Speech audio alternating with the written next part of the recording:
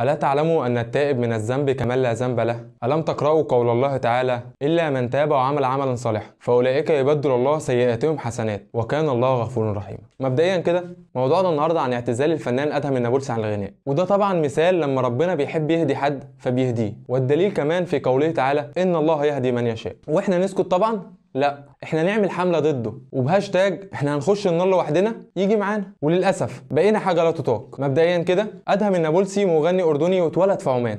وكان متسابق في برنامج إكس فاكتور وصل للمرحلة النهائية بس ما خدش اللقب. بس ليه أغاني على النت عدت ال 100 مليون مشاهدة في خمس شهور تقريبا؟ زي هو الحب. وأغاني تانية كتير عدت ال 100 مليون. وكمان وصل ل 4 مليون مشترك على اليوتيوب. وفي يوم من الأيام قرر يعتزل الغناء. وده عن طريق إنه نشر فيديو على القناة بتاعه بيعلن ده بنفسه وبرر فيه إن المهمة الأساسية للإنسان في الأرض هي عبادة الله والعمل الصالح. وجودنا بالحياة عشان نرضي رب العالمين نعبد رب العالمين.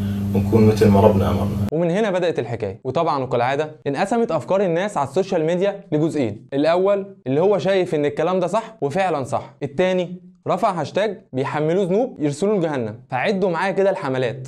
رقم واحد. وأسرع طريقة لإرسال أدهم إلى قعر جهنم وهي تشغيل أغانيه مع القرآن وبكده ياخد ذنوب أكتر. رقم اتنين اللي اقترح إنه يشغل الأغاني بتاعته في الأماكن العامة زي الجيم وعمل كده وهو مبسوط قوي وكان مفتخر قوي باللي هو بيعمله وبيحكي للناس واللي بيقول إن مع كل حرف ألف سيئة وحاجات كتير قوي وبوستات بتدل على عدم التوعية في المجتمعات العربية. المفروض إن المجتمعات دي إسلامية والمفروض إن هي تشجعه وتشجع غيره إنه ياخد خطوة زي دي طبعا. بس نقول إيه؟ الناس اللي بتعمل الحملات دي عارفة كويس هي بتعمل إيه. وطبعا عشان تكونوا عارفين إن الشخص ده لو تاب توبة نصوحة فبإذن الله ربنا يغفر له كل ذنوبه. ومهما الناس حاولت تسمع في أغاني ليه بغرض إن هي تشيله ذنوب فربنا غفور رحيم وعمره ما يظلم عبد وكما قال رسول الله صلى الله عليه وسلم ولو اجتمعوا على أن يضروك بشيء لم يضروك بشيء إلا وقد كتبه الله عليك. رفعت الأقلام وجفت الصحف رواه الترمذي. وعلشان تقرأ الحديث كامل هتلاقيه في المصادر تحت. واعرفوا إن مفيش حد قادر يشيل حد ذنوب إلا بإذن الله.